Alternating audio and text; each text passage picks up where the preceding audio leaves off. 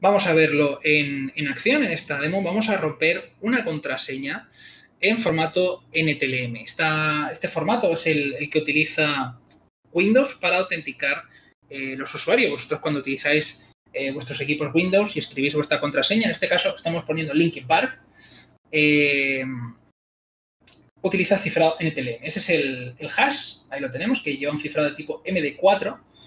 ¿De acuerdo? Y lo que vamos a hacer es que lo vamos a guardar en un fichero. Ahora vamos a comprobar que el diccionario que vamos a utilizar para el ataque, en este caso RockYou, contiene la palabra Linkin Park.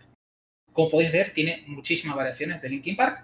Y ahora vamos a tirar hashcat, eh, le vamos a decir que es un ataque de diccionario, que el hash es el número 1000, el fichero es ntlm.hash y el diccionario es RockYou. Y en cuatro segundos ha craqueado la contraseña de Linkin Park, que es ese, ese hash que estáis viendo ahí. Como habéis podido ver, eh, la contraseña se rompe muy.